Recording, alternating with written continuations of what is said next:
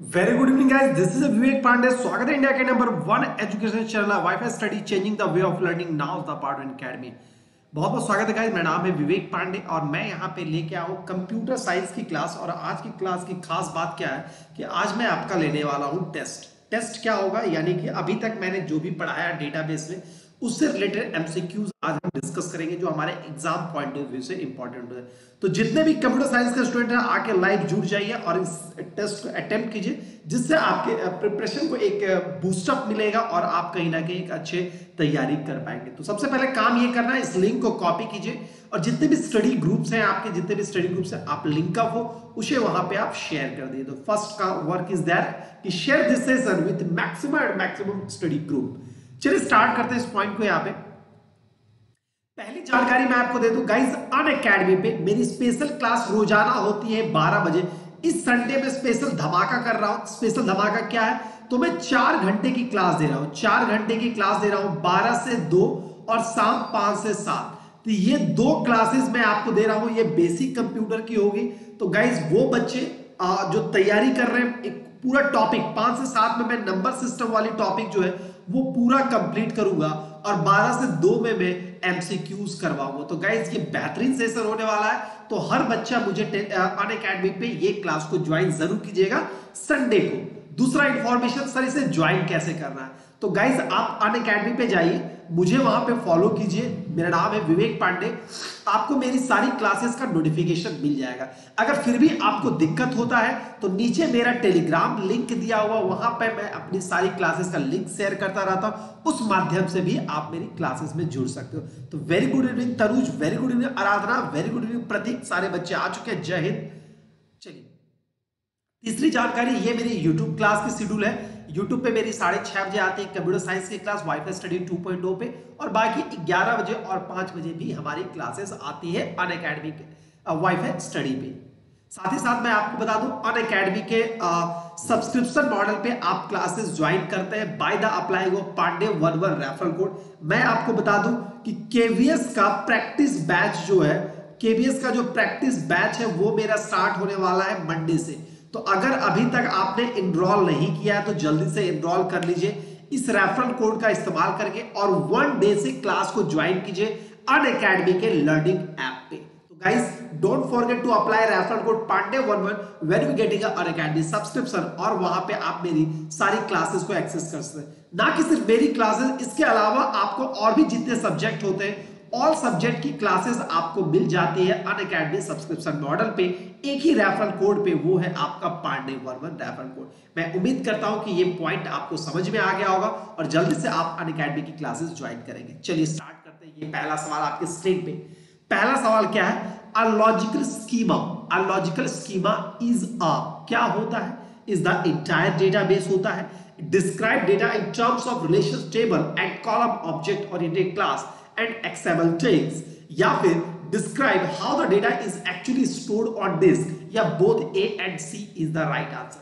What is the uh, exact meaning of very good morning कौन सॉफ्ट है very good morning बच्चों तो लॉजिकल डेटा स्कीमा होता है क्या ये मुझे बताइए यहाँ पे चलिए चलिए, मैं इसमें आपको कुछ सेकंड का समय भी देता हूँ। आपको इसका आंसर करना लॉजिकल स्कीमा किसे कहा जाएगा, ठीक है? बहुत सारे क्वेश्चन जो मैं प्रीवियस पेपर से लेके आऊँ तो आप इसका आंसर ज़रूर करेंगे।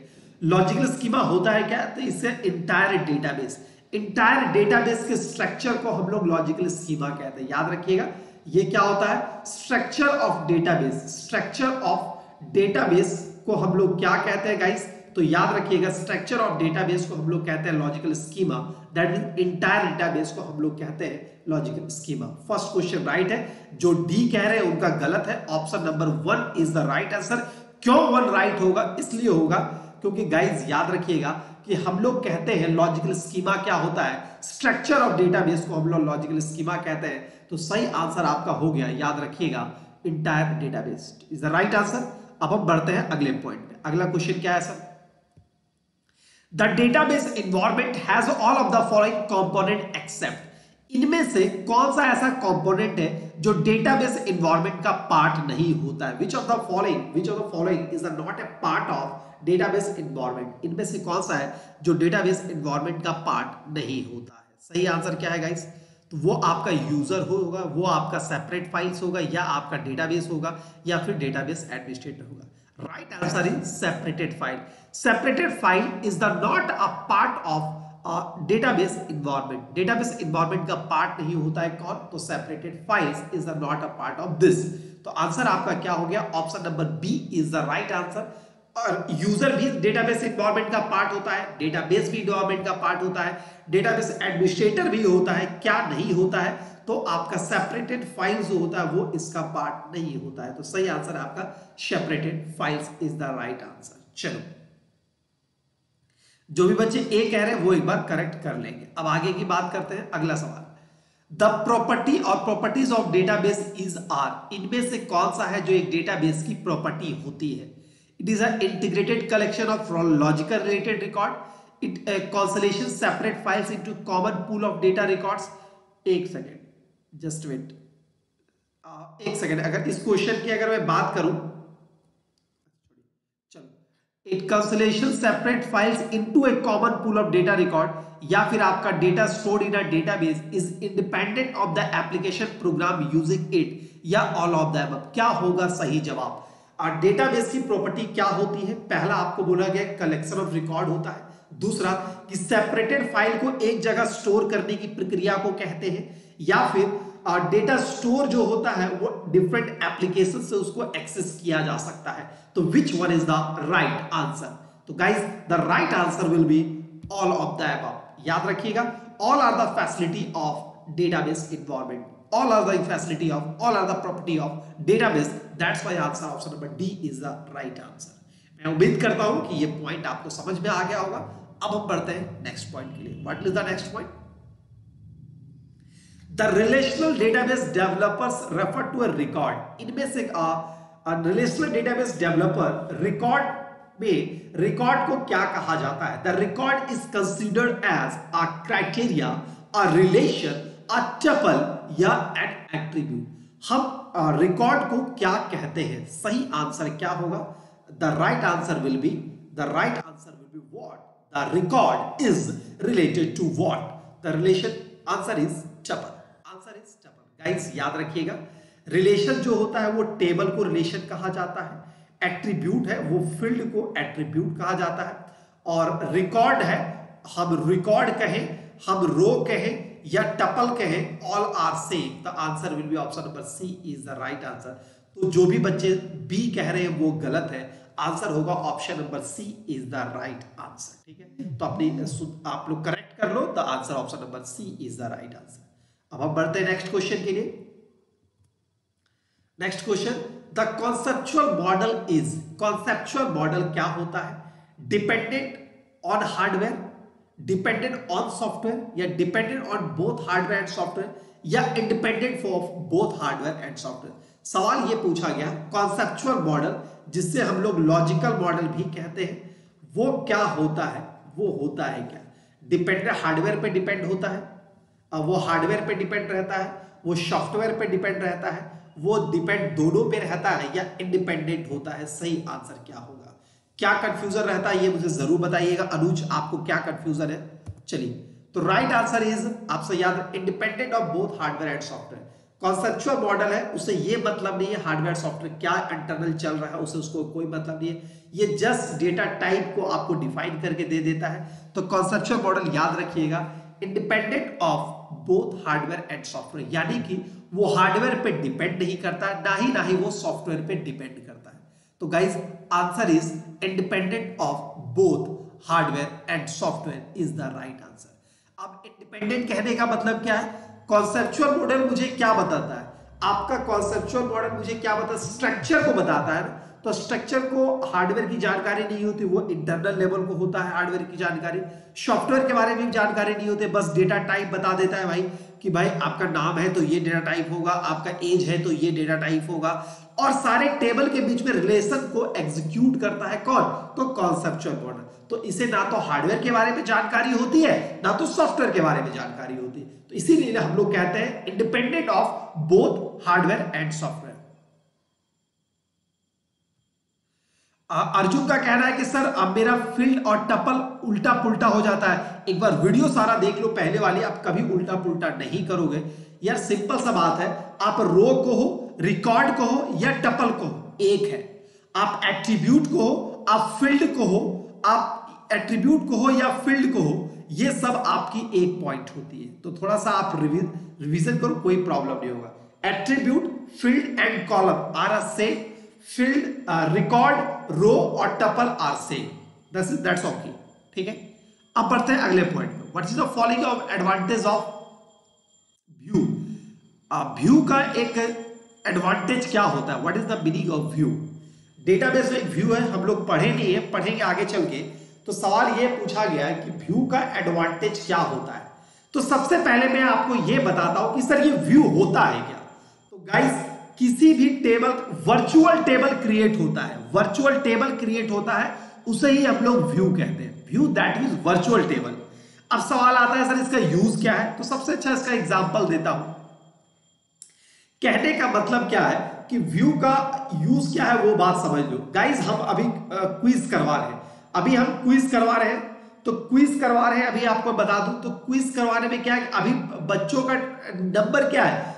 फ्लक्चुएट कर रहा है। कभी यहाँ पे दस बच्चे आते हैं, कभी पचास बच्चे आते हैं, कभी चौबीस बच्चे। तो ये सारे बच्चों के लिए मैं एक रिकॉर्ड मेंटेन करता हूँ। तो चूँकि वो तो वर्चुअल है, वो तो मेरा फ्यूचर के लिए रहेगा नहीं तो वो आपका कहलाता है व्यू में स्टोर होगा। व्यू कहने का मतलब होता है वर्चुअल टेबल यानी वर्चुअली क्रिएट किया जाता है एट ए टाइम फिर उसे डिस्ट्रॉय वो हो जाता है। वो आपका हार्ड डिस्क का स्पेस कंज्यूम नहीं करता है। तो view is a virtual table क्यों इस्तेमाल किया जाता है व्यू का? वो क्वेश्चन आपसे पूछा गया है। डेटा सिक्योरिटी के बारे में ड्राइव कॉलम के लिए इस्तेमाल किया जाता है या हाइडर ऑफ़ कॉम्प्लेक्स क्वेरी के लिए, या ऑल ऑफ़ द सही आंसर आपका है all of the guys view एक वर्चुअल टेबल होता है, जिसका इस्तेमाल सब चीज़ के लिए किया जाता है। ये डेटा सिक्योरिटी भी प्रोवाइड करता है। इससे क्या फ़ायदा है कि मेरा एक्चुअल डेटा है, वो करप्ट नहीं होता है। कॉलम भी ड्राइव हो जाता है, ये भी याद रखिएगा। और कॉम्प्लेक्स क्वेरी क्वेरीज को हाइड भी करके रखता है, ठीक है?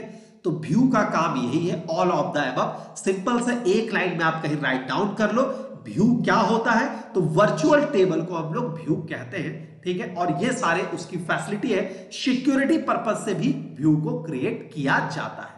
तो जो भी बच्चे डी कह रहे हैं, वो सही है रेस्ट सबका रॉन्ग है। चलिए, अब हम बढ़ते हैं अगले सवाल के लिए। ये रहा आपके सामने अगला क्वेश्चन आपके स्क्रीन पे। सेशन को अधिक से अधिक शेयर करो मैक्सिमम शेयर करो आप लोग तो मज़ेदार रहे यहाँ पे। चलो, अगला क्वेश्चन आपकी स्क्रीन पे पूछा गया है which of the following is record based logical model इनमें से कौन सा है जो आपका एक रिकॉर्ड बेस्ड लॉजिकल मॉडल है? वो नेटवर्क मॉडल होता है, वो ऑब्जेक्ट ओरिएंटेड मॉडल होता है, या आपका ई आर मॉडल होता है? सही जवाब क्या है? चलो, सही जवाब आपका क्या है? नेटवर्क नेटवर्क मॉडल जो है, वो आपका लॉजिकल मॉडल होता है, ठीक है? ये रिकॉर्ड बेस्ड होता है। रिकॉर्ड बेस्ड कहने का मतलब ये है रिकॉर्ड बेस्ड कहने का मतलब ये है, अब मैं अगर ई आर मॉडल की मैं बात करूँ तो ये सिर्फ़ क्या करता है? तो एक ब्लूप्रिंट बनाता है। ब्लूप्रिंट बनाता है, जिसका काम होता है रिलेशन स्टैब्लिश करने के लिए। जिसका काम होता है रिलेशन स्टैब्लिश करने के लिए, ठीक है? ऑब्जेक्ट ओरिएंटेड का इस्तेमाल किया जाता है मल्टीमीडिया डेटा स्टोर करने के लिए मल्टीमीडिया डेटा स्टोर करने के लिए। तो सिर्फ़ रिकॉर्ड बेस्ड क्या होता है? तो नेटवर्क मॉडल है, वो आपका रिकॉर्ड बेस्ड होता है।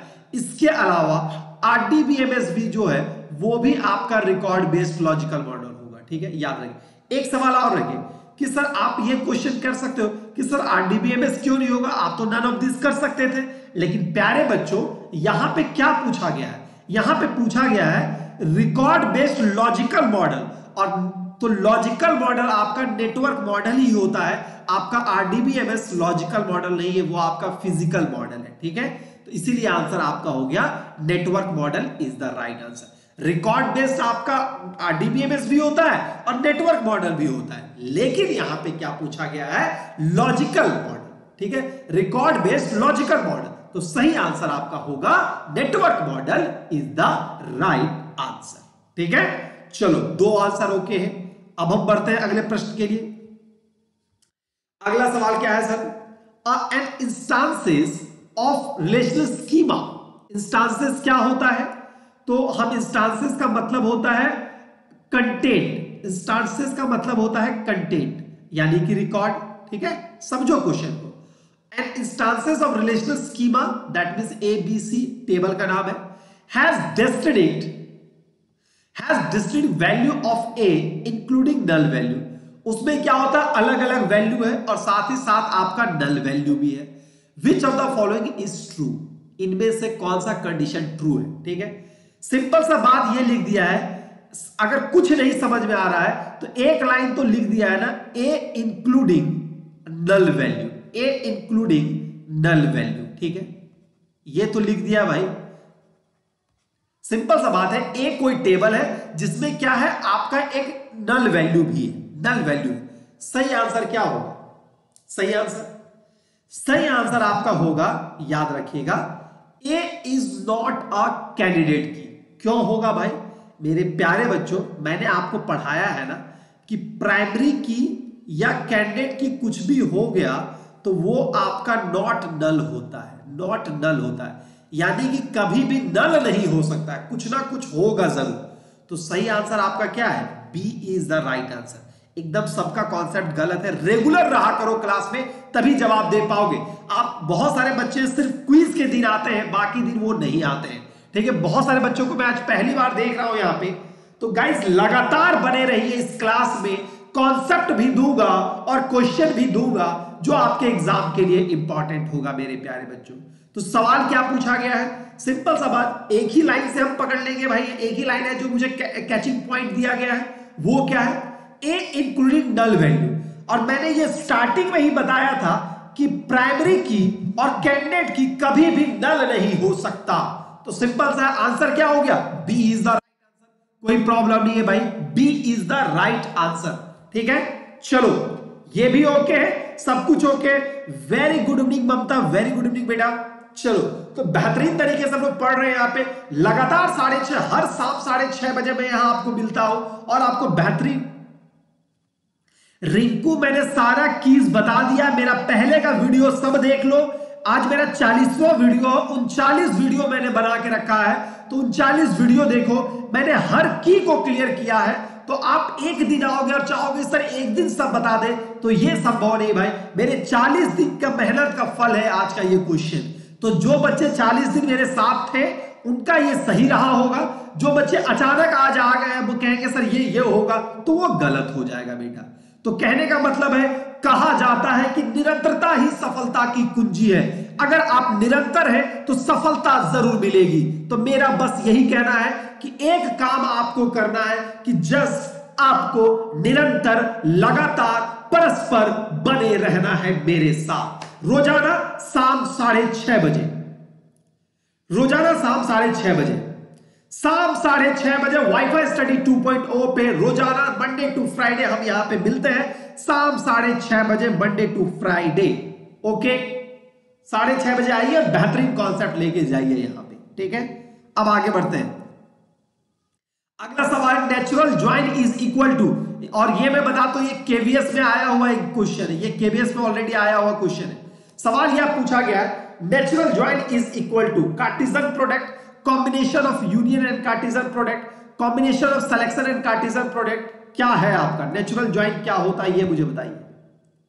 चलिए, ये ऑलरेडी लास्ट वीक भी मैंने शायद डिस्कस किया था तो याद रखिएगा नेचुरल ज्वाइंट क्या होता है? सिलेक्शन और कार्टिजन प्रोडक्ट का कॉम्बिनेशन होता है। सिलेक्शन और कार्टिजन प्रोडक्ट आपका कॉम्बिनेशन होता है, ये याद रखिएगा, ठीक है? तो सिलेक्शन और कार्टिजन प्रोडक्ट का ये कॉम्बिनेशन होता है, ये मैंने पहले भी कभी डिस्कस किया था। चलिए तो राइट आंसर है option number C is the right answer बिल्कुल सही जवाब ओके बेटा, आप लगातार आओ ना आप यहाँ पे जितने यहाँ पे बच्चे क्लास देख रहे हैं, जिस दिन ये तीन डिजिट में क्लास चला गया ना, बच्चों की संख्या तीन डिजिट में मुझे चाहिए। अभी मात्र दो डिजिट में बच्चे आते हैं, मुझे तीन डिजिट में बच्चे यहाँ पे करके दे दो। बस आपका काम है तीन डिजिट के। उसके बाद बेस्ट यूट्यूब कंटेंट आपको मिलेगा कंप्यूटर साइंस का बेस्ट कंटेंट मिलेगा, ठीक है? तो बस आपको आपको ये करना है कि ये डिजिट जो है, वो तीन डिजिट तक आपको यहाँ बच्चों को पहुंचाना है, बस। तीन डिजिट में ठीक है? चलो। अगला सवाल देखते हैं।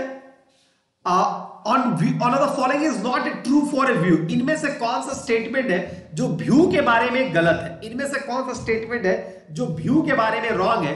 View is drive from other table view is virtual table a view definitely is permanent stored as a part of the database. A view never contain right column. इनमें से कौन सा टूल्स है जो व्यू के बारे में गलत है? यानी पूछा यह गया है कि कौन सा पार्ट है, कौन सा पार्ट है जो व्यू के बारे में रॉन्ग है नॉट ट्रू पूछा गया है, ठीक है?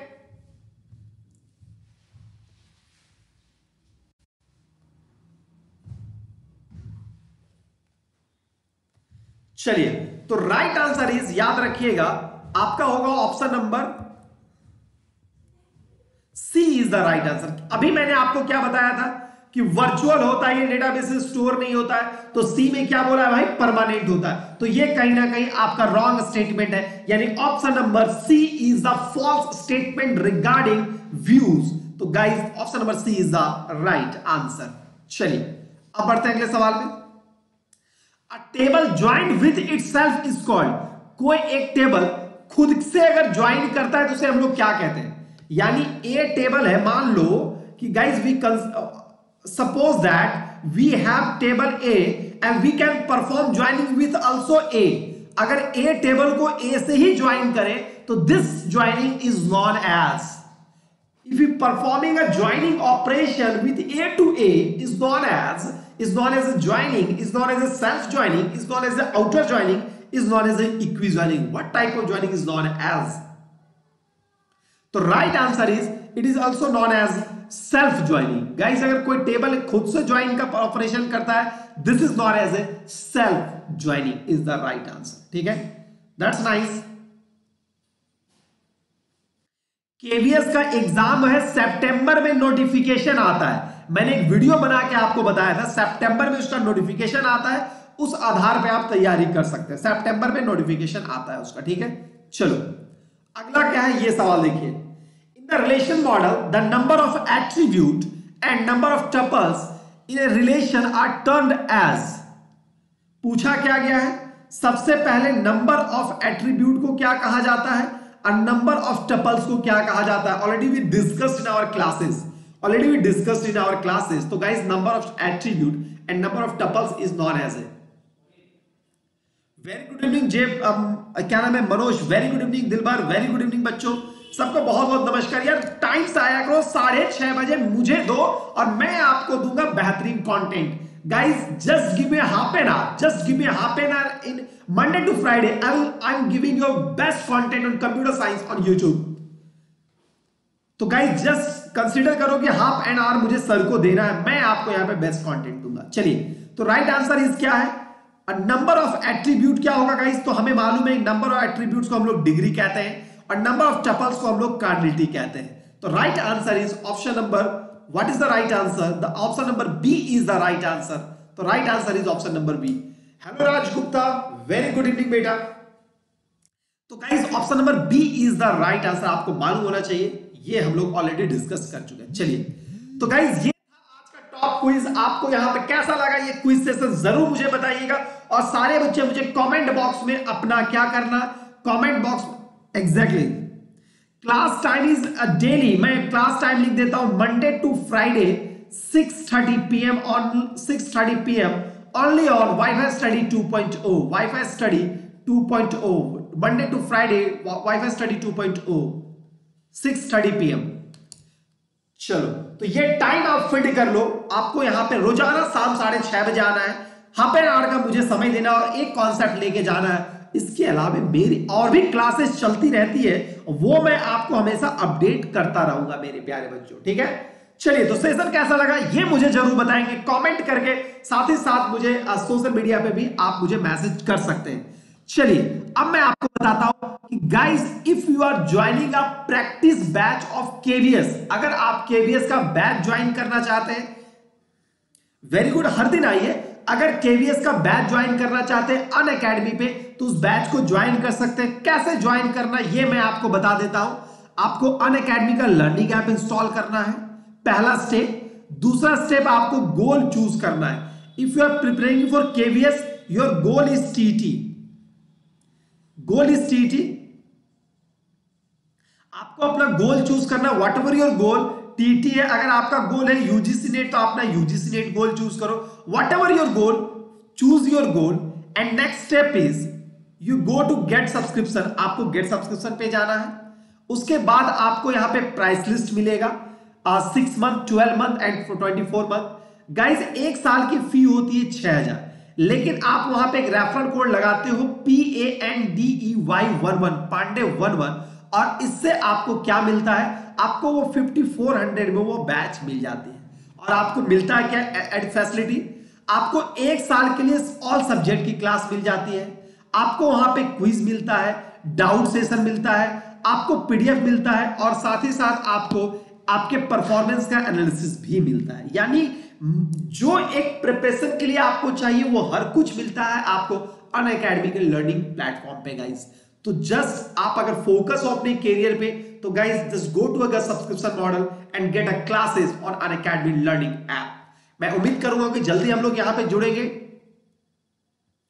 और one thing you should know कि आप पेमेंट किसी भी मोड से कर सकते you you credit card, debit card, you can choose a net banking, you can choose a upi and you can choose a any mode of payment option. और don't forget to apply referral code Pandey one one मेरे प्यारे बच्चों P A N D E Y one one Pandey one one referral code का इस्तेमाल करके आप Unacademy के subscription model पे क्लास को ज्वाइन कीजिए, जो आपके लिए बेनिफिशियल होगा। ठीक है? थ्योरी बेटा डेली आज पहली बार आए हो राजेश। इसीलिए राज, आज तुम पहली बार आए, बेटा, हर दिन थ्योरी ही होता है। Monday to Friday Monday to Friday write down कर लो कॉपी में साढ़े छह बजे रोज़ाना मैं मिलता हूँ मंडे टू फ्राइडे ठीक है? सारे कॉपी में राइट डाउन कर लो मंडे टू फ्राइडे और वैसे अन अकेडमी पे रोज़ाना एक घंटे की क्लास चलती है मेरे प्यारे बच्चों, ठीक है? चलिए तो आज के लिए इतना ही रखते हैं, ठीक है? मैं उम्मीद करता हूँ कि सेशन आपको पसंद आया होगा। सेशन कैसा लगा ये मुझे ज़रूर बताइएगा। और always connect with me with my social media platform my Facebook page my Instagram और my Telegram you should connect with me for regular communication तो आज के लिए इतना ही। फिर मिलते हैं अगले क्लास में। तब तक के लिए good luck good bye and take care guys